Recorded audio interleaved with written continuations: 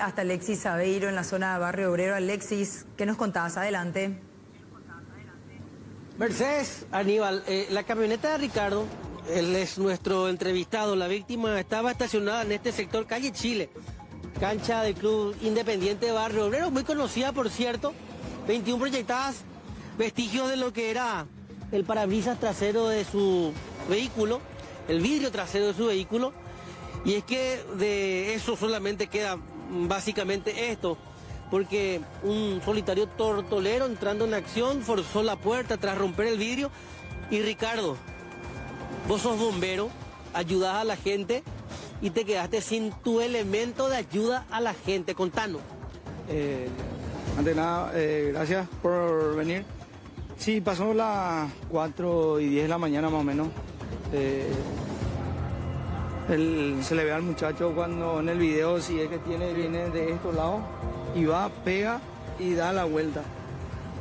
Y ni bien da la vuelta, se ve que cuando eh, hace esto, y me dijeron que con bujía.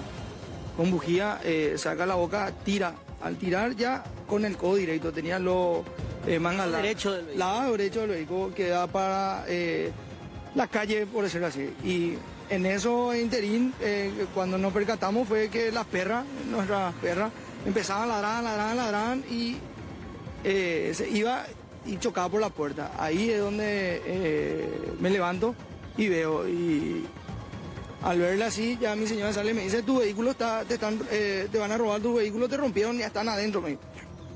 Al decirme todo eso, el, que entró ya, cuando se ve en el, en el video, forcejeó con uno de...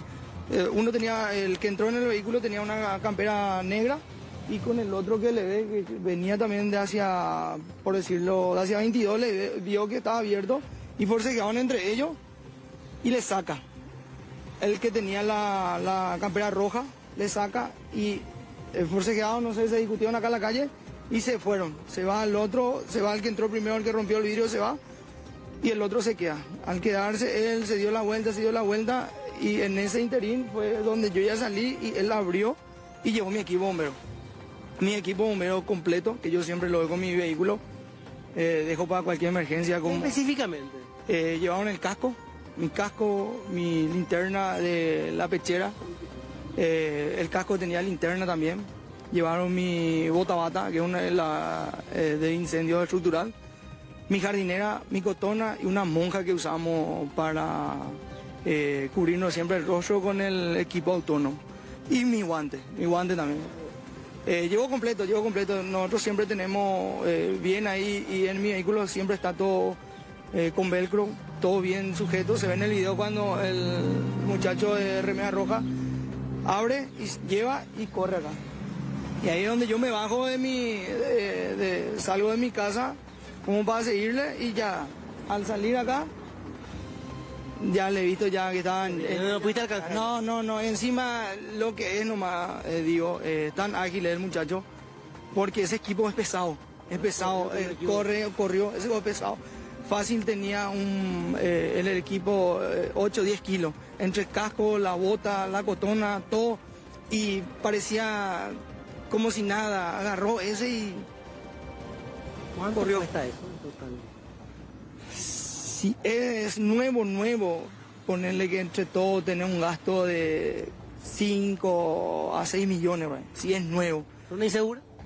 Sí es. Demasiado. Sí, totalmente. Hace poco que se dispararon todos acá en la cancha, por ejemplo.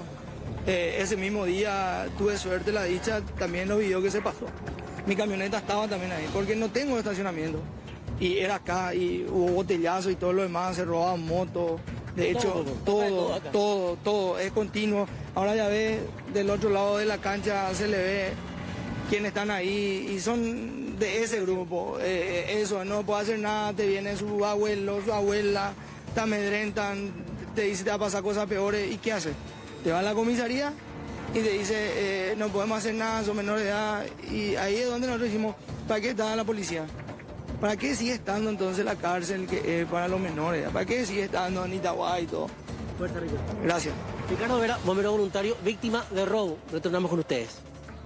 Bueno, ojalá podamos tener datos, sobre todo sobre ese equipo, ¿verdad? Que es tan costoso y tan útil, no solamente para la persona afectada, sino para la comunidad entera por el tipo de labor que realiza. ¿Y qué más le puede contar? ¿Y, qué, no, ¿y de qué te sirve? Sí. ¿Qué te sirve?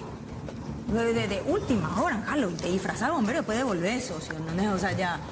Sí, pero el que compra va a ser un bombero. Y sí, otra Y vez. Obviamente va a saber que ese, ese uniforme fue robado. Sí, así mismo. Bueno, gracias, Alexis.